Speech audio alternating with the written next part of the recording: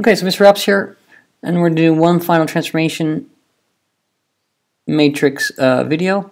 And so if I consider this first scenario, I have a triangle, ABC, where I have we have 2, 5 as A, we have 2, 1 as B, and we have 5, 1 here is C. And so here is my triangle. I know it's a right angle just by the dimensions and how the Cartesian coordinate system works. If this is a 1 and this is a 5, I know this distance is 4 and this distance is a 2 and this is a 5 so this is 3. And I know that area of a triangle is equal to the half the base times the height which will be half times 4 times 3 which is 12 which is 6. Okay, now using the matrices, apply an enlargement of scale factor 3, obtain a new triangle. Okay, so if we're going to do that, I'm going to, my enlargement matrix is going to be 3, 0, 0, 3. And all my coordinate points from above, if we try it, is going to be 2, 5, 2, 1, and 5, 1. And if I multiply them all, 2 times 3 times 2, 0 times 5, and so on, I end up with 6, 6, 15, and 15, 3, 3 as my new uh, points. And again, now if I draw it, okay, if I draw it, my scale is not the same as the first one. I'm going to go over 6 and up 15.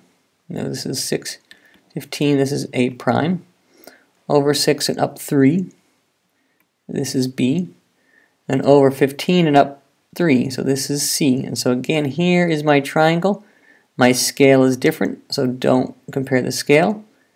I know that this is B and it is a height of 3.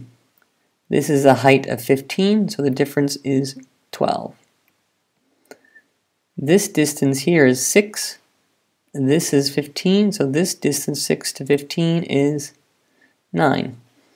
So if I want to find the area of this triangle now, I, the area is going to be the half times 12 times 9. Well, that's 6, and so I get 54. Okay, so far so good. Now it says calculate the determinant of the large enlargement matrix? Well, the, the enlargement matrix was 3, 0, 0, 3. And so the determinant of that, this is the notation for the determinant, is going to be 3 times 3 minus 0. So this is the determinant.